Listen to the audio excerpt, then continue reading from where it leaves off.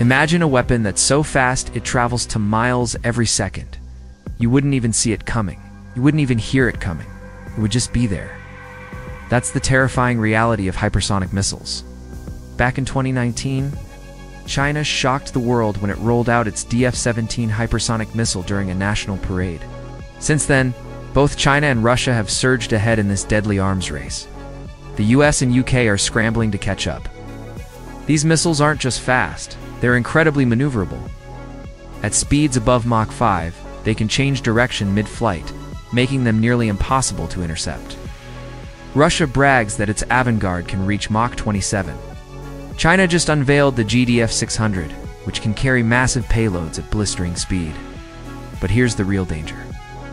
No one knows if a hypersonic launch means a nuclear strike or a conventional attack. This leaves leaders with just minutes to decide if they should retaliate. And that's how close we are to miscalculation and potentially global catastrophe. Do you think hypersonic missiles will make the world safer through deterrence, or more dangerous by pushing us to the brink of war? You decide.